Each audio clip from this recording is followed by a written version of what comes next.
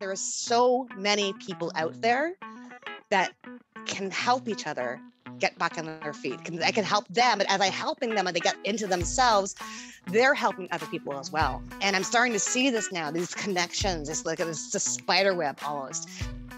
Hello, you are listening to the Late Bloomer Living podcast, where we are reimagining and redefining what it means to be in midlife where we are gathering energy, momentum, and excitement for our next chapter via candid conversations with other midlifers about their own pivots, pitfalls, and triumphs. I'm Yvonne Marchese, your host, and I'm so happy you're here. Well, it's already February. Where did January go? Didn't we just celebrate the new year? How are you doing? Uh, we've had a doozy of a couple of years, haven't we?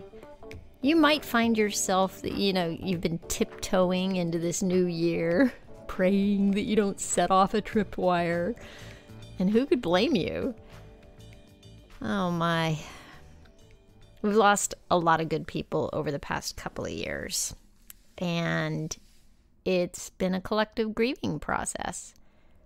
If you're lucky and haven't lost someone near and dear to you, you're still very likely grieving the loss of normalcy. You know, all the things we took for granted before the pandemic. Now, before you turn off the podcast, because you just can't with one more conversation about the pandemic, that's not really what we're talking about today. I want to say that there is light at the end of the tunnel. And uh, yeah, you know, that makes me think of the Leonard Cohen lyric. Uh, Forget your perfect offering. There is a crack, a crack in everything. That's how the light gets in. My guest today knows something about the journey through grief and how to pick up the pieces and move forward. Her name is Sarah Gallagher. Her husband died when she was in her late 30s and her son was two and a half years old. It wasn't expected, and she was devastated. He was her soulmate, and his death left her with so many unfinished plans, like plans to have another child. Redefining her life goal as a solo parent ended up giving her strength. She decided to go ahead and have the second child that they'd always dreamed of. And with time, she found herself reaching out to help other young widows.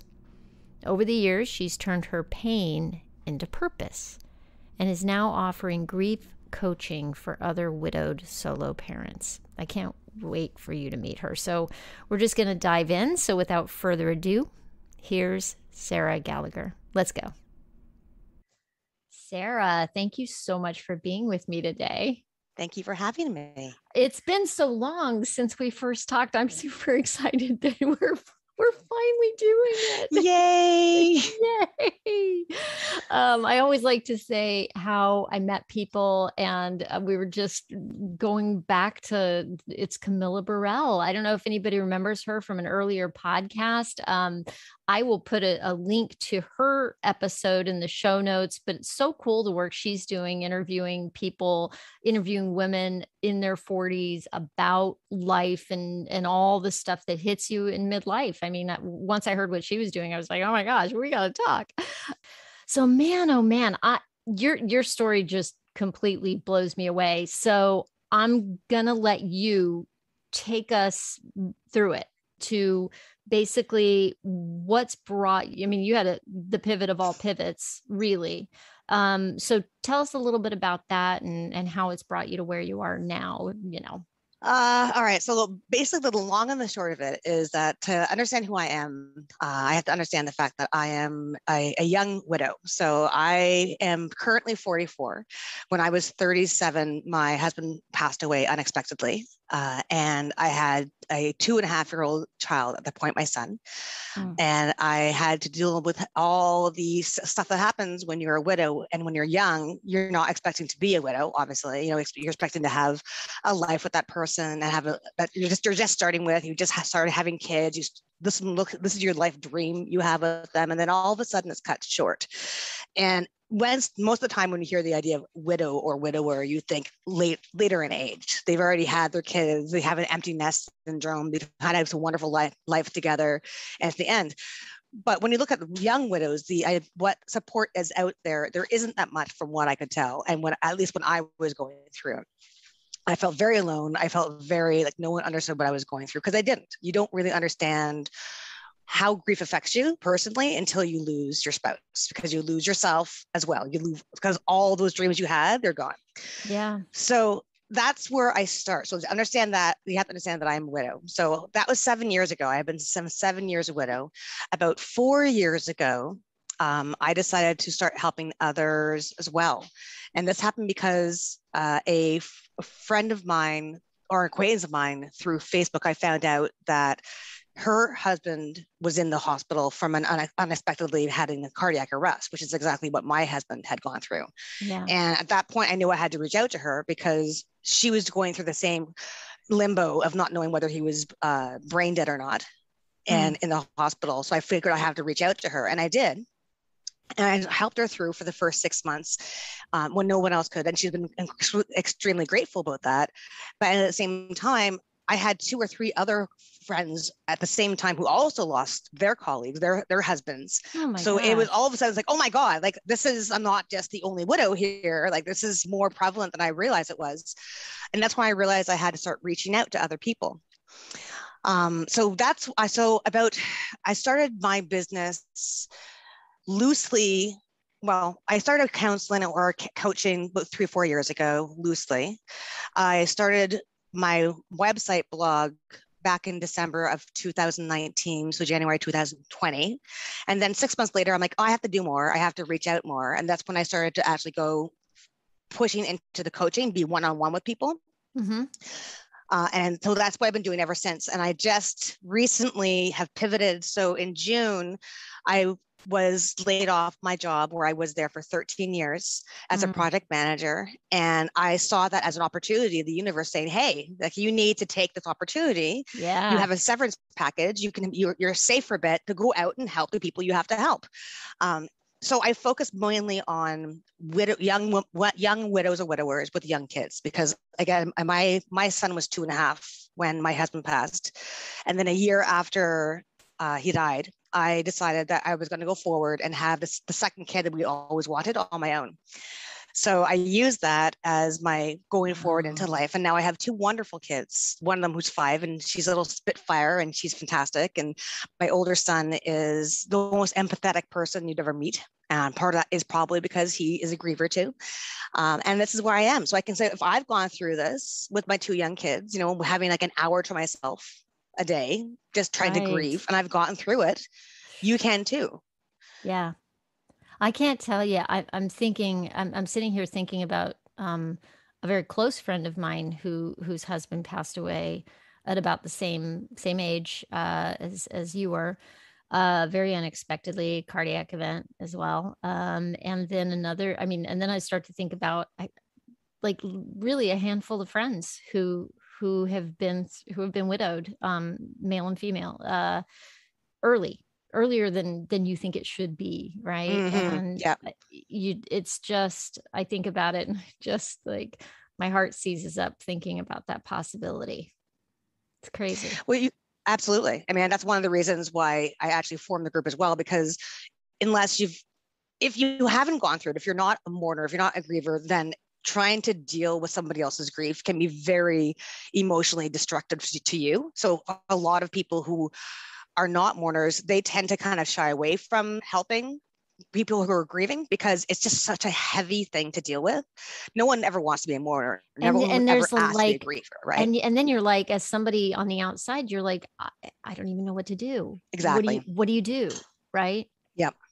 Yeah. yeah so I also so one of the things I've been doing is, is I'm trying to help the people I, I work with, I just, I, it's not just about venting and it's not just about getting the grief out. That they're allowed to, obviously, like feel free, but it's also the way of going forward. And here are some steps to actionable steps to go forward. And I also have resources to help them talk to their friends and their family who are trying to reach out and trying to help, but they don't know how to, mm-hmm. and they mm-hmm. don't know what to tell them because they don't know what they need. So I've been able to put some resources together to say, here, this is what you should do to help your friend this is what you should do to help other people. Uh, wow. uh, so it's more it's just it's more creating more of a community not just for my widow friends or my widow colleagues but to help them reach out to the friends and family that they have to get the community back that they need. It's amazing to me that you've taken something first of all with the with the death of your husband you've taken that and turned it into a service. The the how I guess my my question, my first question that pops into my mind around that is what is that what have, what is what has that done for you? What have you found out about yourself through the process of oh. taking that experience and turning it into helping other people? I have realized that it's been really it's become really my life my life purpose now um, it's working for a corporate company for as long as I have and working in publishing, which is was my love, was where I thought I was going to be. Mm-hmm. And I felt that after some time, after I was there again, I was there for 13 years. So I guess 10 years into it, and nothing, everything just seemed to not want to do, go any further. They're always like it was stagnant. And I was like, what else am I going to mm-hmm. do with mm-hmm. myself? I got to stay here mm-hmm. and keep doing mm-hmm. this.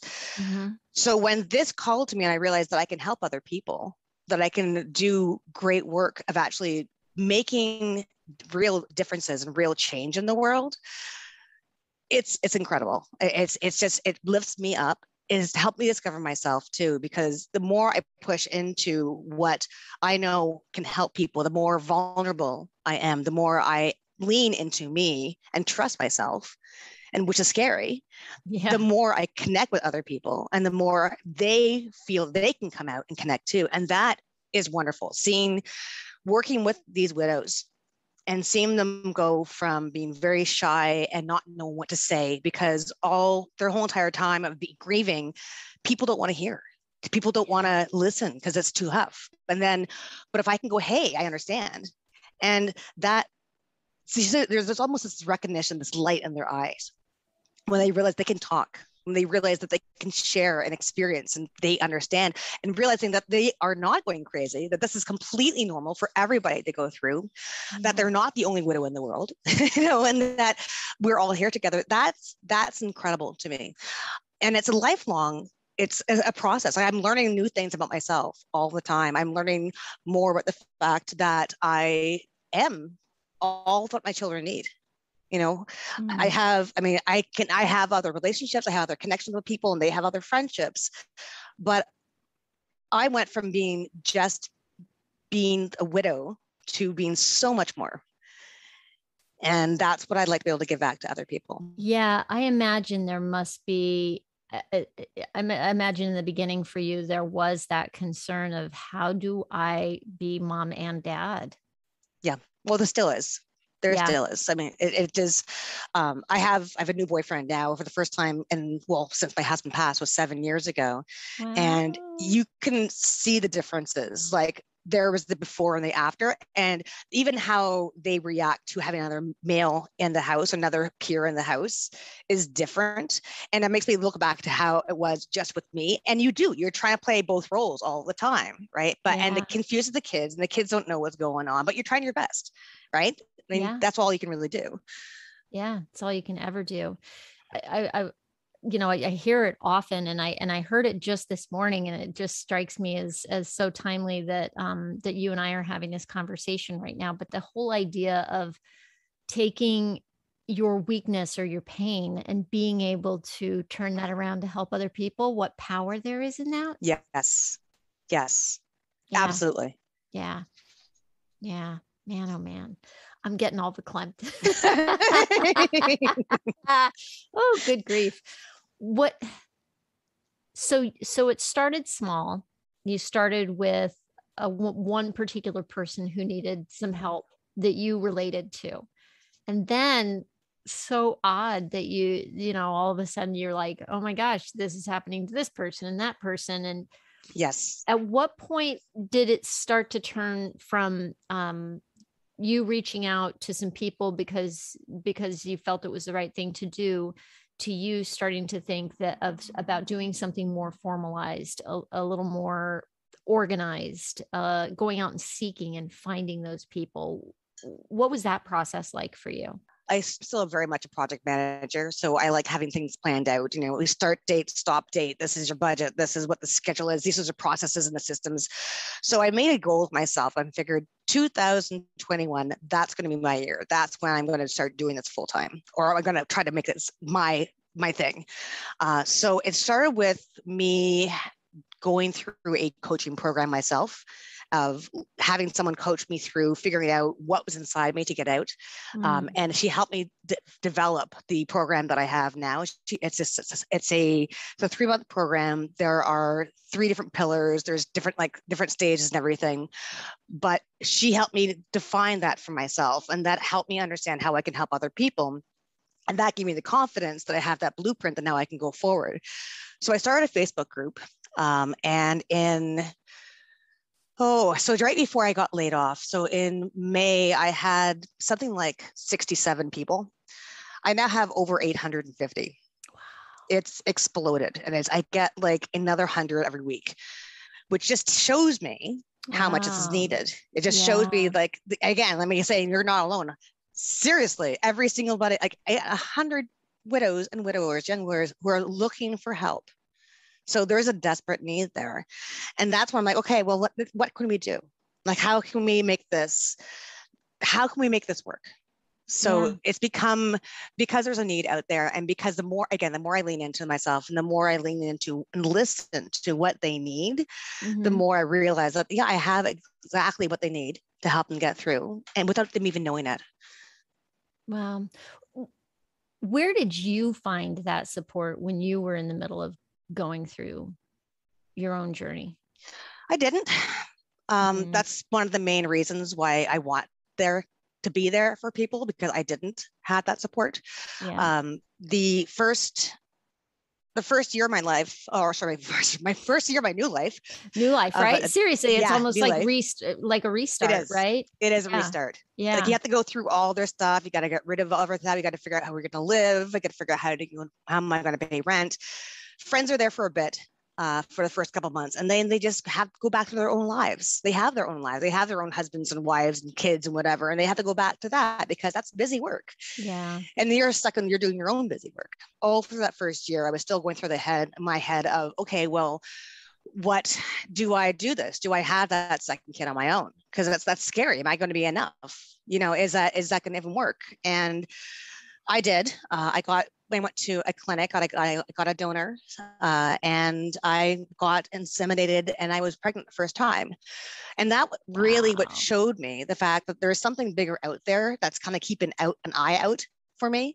Mm-hmm. Um, I don't know what you call it, God. I it was a higher being, but just tapping into that, feeling that comfort and feeling that that need to go forward.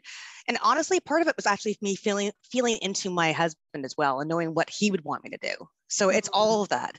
Mm-hmm. Um, and again, because I know, and I've done this all myself, I've, I've done help my kids go through their own thing. I've helped other people. I know what it is to be alone, which is why I don't want anybody else to have to do that on their own. I want somebody with that helping hand to help them through because I know what what's going to happen. Yeah. Yeah. And then, you know, to to turn it into the program that you've got that, I, the more I talk to people on on this podcast, the more I realize how important it is for people to get coaching. Mm.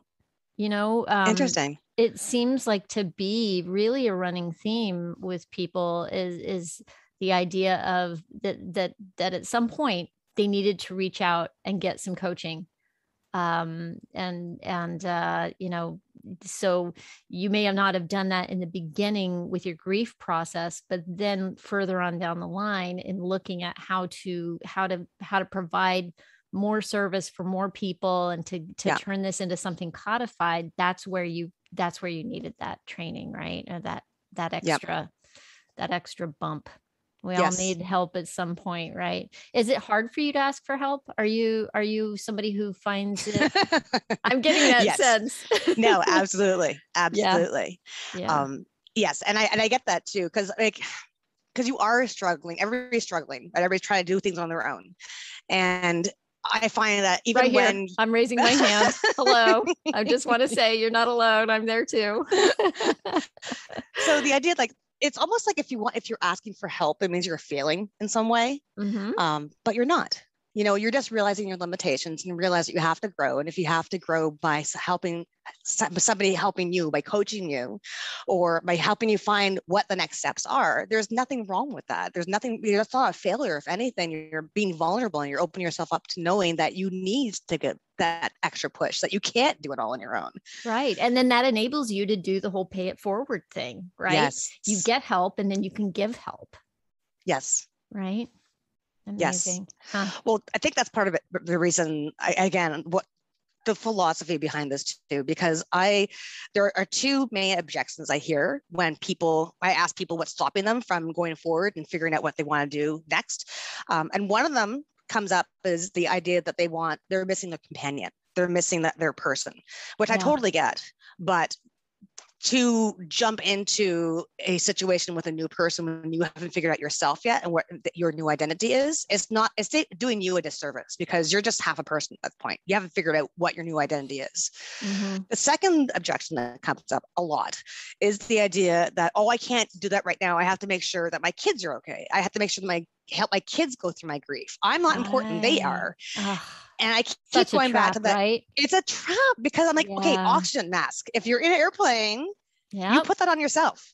There's a reason that that's uh, what a, a, a stereo, not a stereotype, but a cliche, right? There's a, a cliche, reason it's a cliche because it's true. You got it. It's not selfish. You have to have support for yourself before you can go out and, and support somebody else. Just, I, I, like to see, see the idea of um, you need to know how to stand on your own two feet before you can help your kids up. Yeah. Because and they model you too. If they're seeing you and they're seeing you trying to figure out yourself and going forward, then they're going to go, okay, mom, I can do this. You know, if they can yeah. see you crying, they're mm-hmm. going to go, okay, it's okay for me to be crying. If yeah. you see, if they see you working on trying to be your best self and being okay with asking for help and being okay with not knowing all the answers, then they're going to be more trusting and vulnerable to you too because that gives them faith that you will always be there yeah. no matter what. And it also gives them faith in themselves that yeah. you can do it, they can do it. Yeah. Wow. Wow. Wow. What What do you wish you'd known when you headed down this path? Is there anything that you wish you'd known? Oh, I wish I had known not to doubt myself. Um, I am finally, finally getting into a mindset now where I'm allowing myself to be able to grow, to be allow myself to know that I can be the most vibrant person ever, that I am allowed to have the best life ever, have my kids have the best life ever. I'm finally getting into that. And that's taken years, years of self doubt. And even when I started doing this, I've been trying to work on this. And so yeah. I wish I knew even like 10, seven years ago, but seven years ago, after like when this first started, I wish I had something in my head back there, whispering in my ear saying, You're okay, you're right, you're gonna be fantastic, you're gonna thrive. I yeah. wish I had that. And that's yeah. what, yeah.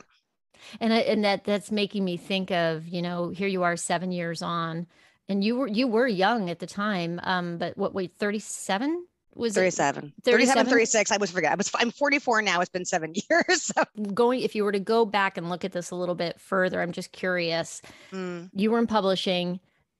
You, were you happy there? Did you feel like there was something missing? Did you did you feel like you had something more to give or were that was it? You you were in your career you were happily going along that path and then hard stop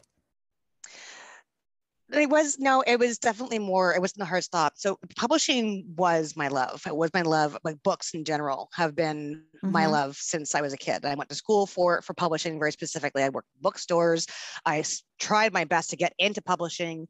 And how i got into publishing was i got uh, a contract job taking over somebody's maternity leave, which turned into a full time position. So I put, mm-hmm. took a mm-hmm. risk there because it was so very important to me, and I was dedicated to it, and I really was putting all my effort into it. But again, after after ten years of it, I'm like, is this this? Is this is this, is this all there is? Is there mm-hmm. not more? Mm. Like, I, how come I'm not getting the level of satisfaction out of this that I thought I would or I did before? What's different? And that was when coincidentally when I actually was pregnant with my with my daughter. So I'm on mat leave and I had hard, hard to start thinking about, okay, what else do I want to do with my life? And I started thinking about, okay, maybe I want to go back into music again because I went to musical theater when I was a kid. I'm like, maybe I hmm. want to like help with kids and you know do like you know the baby dance thing and do that. You know, well, that, that doesn't feel right. Let's try this. Let's try that. So I was already kind of exploring different ideas yeah. of what is fitting with me now because this what I am doing right now isn't nearly as satisfactory and not giving me any kind of motivation. And I could see that that disengagement becoming more um, active. I'm not sure how to exactly say this. I became more intentionally disengaged from my my day job. I became more into seeking something else what else is important for me. Ooh what did you do to so so i'm curious about how did you go into that journey for yourself? Like you you did you purposely disengaged from what the attachment to the job? Um what did you do? What did what did you do to to tap into okay what's right for me to do? Or was it just meeting somebody figuring out they needed help helping the next person, helping the next person. And that led you to where kind you are? Of. It didn't, it didn't. So I first, when I first started, it, this is was just going to be a blog. I was just going to have a blog page. I was it's we're just going to talk about being a solo parent and being a widow and it's my day-to-day life. And if I explain my life, then maybe someone will get get it, you know just passively telling my story. So I started, okay, I'm like, I'll communicate and I'll have connect with people, with other grievers, other widowers with my words, with my written words. And then it wasn't, guess, I guess six months later, I started talking to someone who was a coach herself. And she was telling me what she was doing. I had no idea what a coach was at this point. I had no idea, never heard, heard of the idea. Um, it amazes me now that how prevalent they are, and it's become really a, this thing but mm-hmm. there's so so much secrecy like what is this? What, it's not counseling it's not therapy it's coaching it's completely different. What's different? Which i have a whole entire new thing of why is it different and everything. Right. But i started working with her and and i started remem- remembering how i was helping other people like one-on-one with them. But i never really saw that as anything more than just you know putting a helping hand out there. I never yeah. saw anything from it. But then talk, after talking to this woman who's a coach i'm like you know what I don't want to just be passively here and for people to need me. I have to reach out. I have to reach out because this group of of people are so lost. They're so they don't, they don't know how to trust anything. Their best person, their best friend has just passed. Their friends can't connect with them anymore. They've just lost everything they can. The last thing they're going to do is go bring out for help when they're trying to get their shit to, together. Right. So I have to be there to be loud and in their face and to say, hey, if you need help, this is who I am. This is how I can help. And I have to show up for them. I am terrified every single time I show up. I am terrified every single time I do a live or I do a mm. podcast video like mm. this because it exposes me.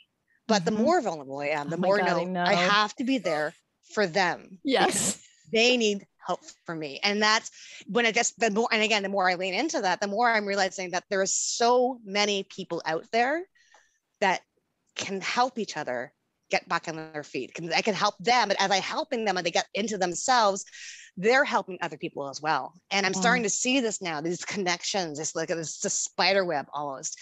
And you need that. People need yeah. that. And these are, it takes a village to take care of a child. It takes a freaking world to help us like everybody together, you know. And I so I kind of go back a little bit because I'm talking about tapping into this.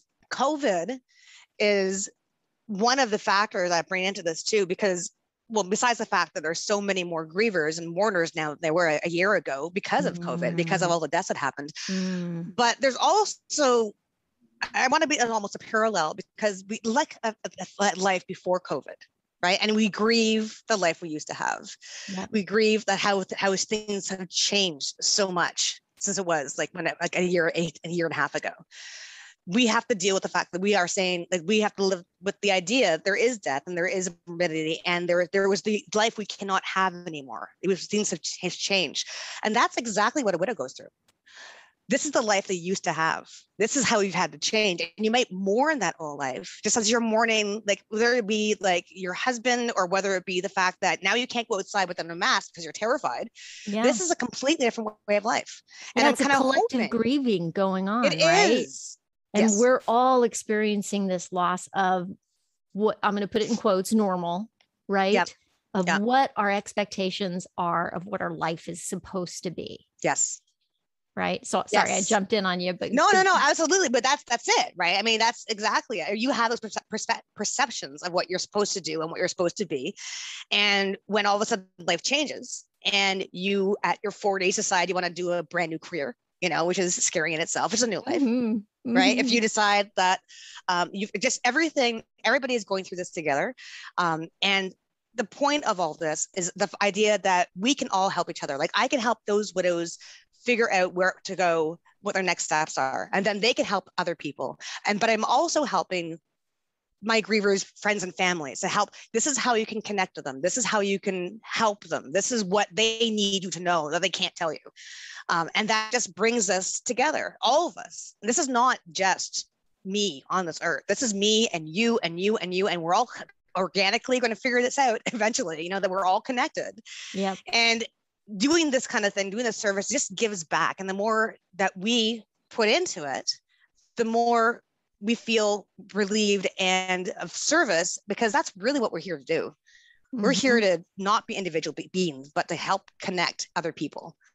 Yeah. sorry that got really philosophical there. Oh my gosh i love i love it. I love digging into that stuff. I mean and it's just the confidence that you gain from stepping into doing something that's outside yourself too Mm, you know Yes. is incredible like uh, i i feel like i've grown so much since i took this particular thing on and it, it's just um my confidence level has has skyrocketed from doing something that like you said you're so terrified every time you step up to bat per se right right? You got to get on camera you got to get get on a call with somebody you got to and and every single time but every time you do that you're working a muscle right?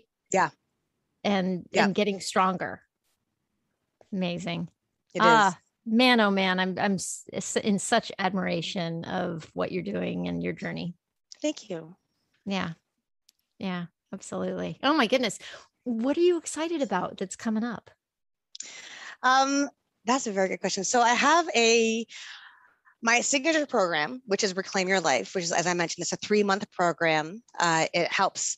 It, it everybody's journey is different, right? Everybody's grief is unique. Everybody's own path forward is unique, and I can't tell anybody what that is. But I do know all the different things that you have to go through, all the different self identity things you have to do in order to find that. And that's what my skill is. My skill is to figure- out where inside you is that that person, where is inside you is that identity and your life journey and help draw that out of you. And that's what the three months program is. Sometimes it takes less, sometimes it takes more. It really depends again on the individual. right So that's my signature program. And it's it's beautiful. Again, watching these people transform.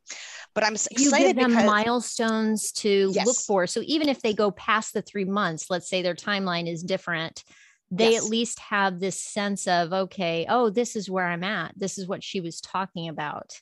I wasn't there then, but I'm there now. Yes. And there's Uh-huh. no, I can't say it's going to take this much time for this much person or this stage is going to be X number of time or how many things you have to do. Because sometimes you might go forward one step and then back a couple more steps because you have to figure out yourself again, Uh, right? life. Rediscovering. That is life. yeah.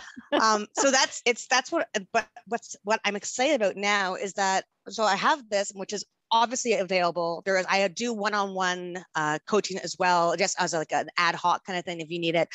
But I'm excited because the more I'm listening to my people, the more I realize that it's not just them that they're worried about. It's not just them they have to work on. They are a mother or a father and they have to help their kid too. So I'm excited because I'm going to be adding onto my program a, a a, a, a, bonus mo- module about how to help your kids grieve. Um, basically, mm. depending on what age they are, figure this is the typical signs of what they go through. This is how you can help, and have that as a resource to help them get through. And if wow. that's if that's available, I also also thinking about doing a an art therapy course with the kids, with the whole family, because that's what I've been doing with my own kids, and helping them get through that way help so being there with their kid and working with something together so they're kids don't really talk about their grief or talk about their big feelings because they're big feelings and they can't even express them, especially if they're younger. Mm. Um, when they're older, they tend to get more angry and get just distance themselves because that's how they deal with things. And there's another deal with that. But for the younger kids, up to 10, I have a program, I'm working on a program now where we actually work with the kids through their grief through different art play. And will as they express nice. their art and they express what they are, you get to see what they're feeling and how they're how they're interacting with things in a way that you couldn't have got them through their voice. And this works even with younger kids, like even toddlers who have the emotional and they have the, the capacity to understand all the different emotions, but they don't have the language behind mm-hmm. it to say what's going on. This supplement to the course is to be able to help parents help their kids at the same time as they're helping themselves. And I don't um, want to set I don't want to sell it as a separate thing because I don't want pe- the parents just to go, okay, just give me that for my kids and then be fine. Because that's not the point. The point is mm. you are important, mm. but here how I can help your kids at the same time. It's a whole uh, package. This is not. I love the way you've thought this through. Wow. Yeah. Thank you. Yeah, because that because that is very likely what a person would do it's you know is i'm not important let me take care of my kids first again yes. going back to that right? Yeah. Uh, wow yeah very thoughtful. What's the best way for people to connect with you? And i'll i'll have a lot of the things that we've mentioned in the show notes and everything else. There are two main reasons uh, two main ways. The the first is to join my facebook group. It's called widowed solo parenting you're not mm-hmm. alone. Mm-hmm. Uh, it's it's if you just even search for widow, it's one of the first things that will come up in Facebook groups now uh, because mm-hmm. we have uh, that much engagement and wow. that many people. Mm-hmm. Uh, the other way you can get a hold of me is that you can uh, go on my website. It's www.thedaysarefull.com. There's that's all my all the different resources for my blogs about how to help you figure out uh, how just different things. I mean, it's, it's chock full of resources, and I'm trying to. I haven't been as active on it as I have been, but there's also links there to how to get a hold of me directly or how to get to my Facebook group. So those are the two main reasons, two main resources that I can give you. That's fantastic. Well, thank you so much. I'm so glad that after all the time that it took us to, to actually make this happen, I'm, I'm glad we finally got it together. Thank you. I, I really appreciate the chance to be able to do this. People need to hear this. People are there are people out there who need to hear this exact thing. And if you're one of those people and your skin's twinging, do get in touch with me because you know something's important. Yeah, the work you're doing is, is so important, so great. Just really, really happy to have had you here today. Thank you. Thank you. Well, there you have it. I'm so inspired by Sarah's ability to take her experience with grief and turn it into a service to help others. Here's the thing we've all been through something by the time we get to midlife. That's the wisdom that comes with age. You can't ask for that, it's given freely. and along with it comes an opportunity to transform our painful experiences so we can be a wayfinder for someone else. And you don't need to be an expert, you just need to be a step ahead in the journey and reach out your hand to the person behind you. And that doesn't have to be through any kind of formal coaching program. It's just something to think about, you know? Do you know anyone who's grieving from what's been happening over the past couple of years? Um, anyone who might need support from someone who's been there? You can find more information about Sarah Gallagher's Facebook group for widowed solo parents in the show notes, along with other links to find out more about her programs. You can just go to latebloomerliving.com forward slash podcast and click on the show notes for episode 83. And hey, before you go, I want to tell you about a guide I created for you designed to help you start taking the steps towards your next act. It's a workbook called Five Steps to Your Midlife Reboot. Comes as an email series and it has some ideas and practical exercises that you can use over the course of several weeks to get past that stuck feeling. You can do these at your own pace as they'll be waiting for you in your inbox when you're ready for the next step. And you can find a link to sign up for that free guide in the show notes also. Thanks so much for listening. I hope you have a fantastic week. Stay safe and well. Talk soon.